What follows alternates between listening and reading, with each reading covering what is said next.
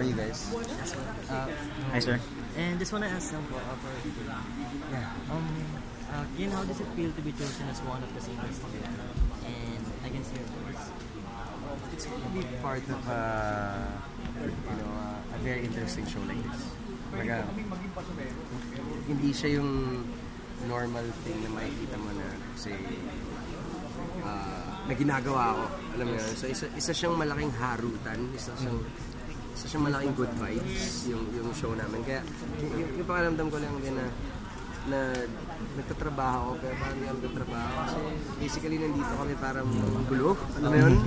I mean, nandiyan pa lolo mo. Could be any better. And uh, gano'n siya kaiba dun sa Your Face Sounds Familiar na kasali mo sa... Well, aside from the fact na hindi kami nagpo-prosthetics, hindi kami nag-aaral ng mga kanta at ng moves at ano, kumbaga kasi sa Your Face Sounds Familiar, kami yung ano eh, Contestant. yung, yung trabaho na mabigat nasa amin kasi Kay Gina Judge. kami gina-judge, kami nagpa-practice, kami nagpa-prosthetics, kami. Ngayon kayo naman yung... enjoy ko yun. Nung una, nung una, ah, hindi pa ako kampante sa sarili ko na gagawin ko ba to, hindi. Pero, nung nag Kalaunan yung na. flow, nung nakuha ko yung vibe, na-enjoy ko. Lahat ng mga ginagawa ko para na-enjoy ko lang din naman talaga. Especially itong show na I Could See Your Voice. Kasi, ano eh, it's a, honestly, it's an easy job. It's a very easy job.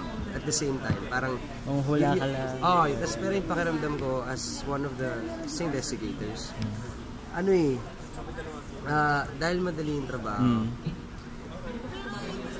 masaya lang kami. Pero yung kapalit naman na kapalit naman nun, ang dami namin napapasaya na tao. All over the world. And...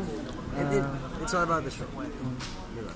Oh, uh, thank you Kian. And paki-invite na lang mga kapamilya natin na manood na I Can See Your Voice. Hello mga kapamilya, ako po si Kiyo Cipriano at iniimbitahan ko po kayo lahat na manood na I Can See Your Voice September 16 na. It's sa ABS-CBN. Thank you. Thank you. Okay, sir. Thank you po.